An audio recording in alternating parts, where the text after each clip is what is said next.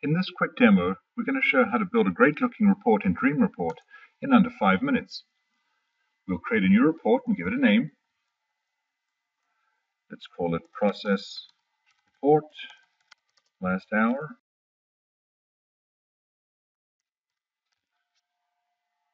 And now we start placing objects on our report. We'll start off by summarizing some process data, so we'll use an automatic statistic table and place that at the top of our report. In this object, I'm going to select a set of analog tags from my data source. Now this data source could be an HMI, it could be a historian, or even directly from a PLC. In this case, I'm going to search for some flow tags. And I'm going to search for some tank levels. We Filter out those tags from our data source, and there we have them added to our list. Let's set our time period to be the last one hour, and now we'll select set, set our data selections. Let's show the last value, the first value, the min, the max, and the average over that time period. And let's just put a heading here, data summary.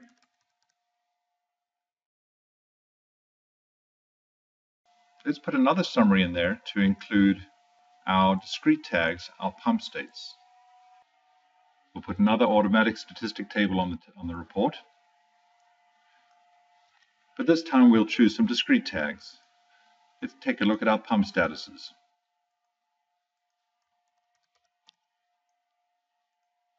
We'll choose those five pumps and we want to see how they've been operating again in the last hour. In this case, instead of finding min, max, or average, I'll look at how many times the pumps have turned on and off, the running time, the downtime, and even what percentage of the last hour each of these pumps was running.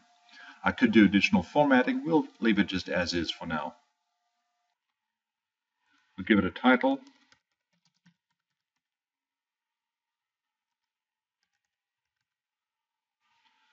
And we're done. Okay, let's add a chart to our report showing our flow rates. Place the chart over here. And let's take off again for our last one hour. And let's not show the raw values, but we'll show moving averages. And let's just say flow 1, add that line, flow 2,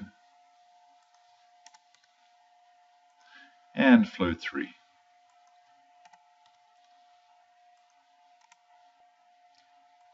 We'll have them all share the same scale since they're all flows, and display a legend.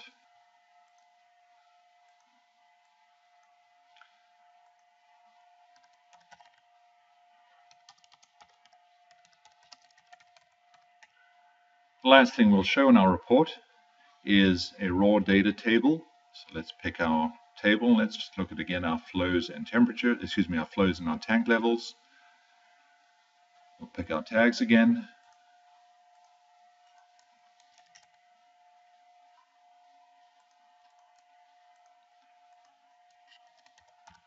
Our tank levels,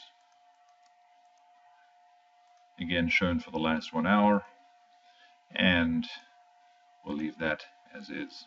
The last thing we're going to do is do just a little formatting of the column widths and apply a layout to our report. And so let's just apply a page template.